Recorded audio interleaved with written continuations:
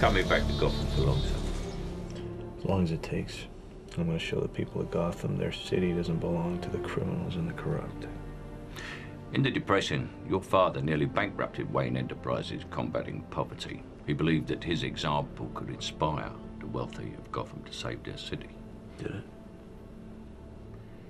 In a way, their murder shocked the wealthy and the powerful into action.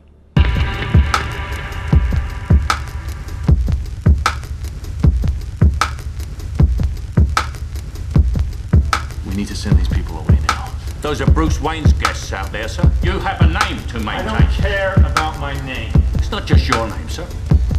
It's your father's name. And it's all that's left of him.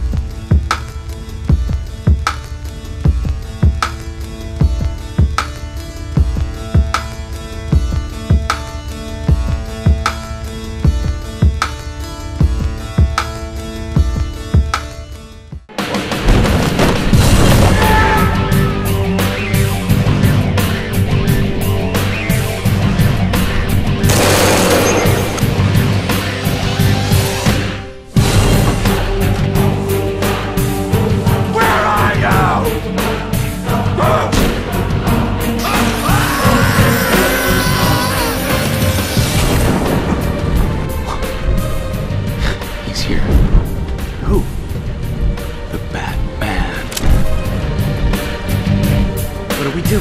What anyone does when a prowler comes around. Call the police. You want the cops here?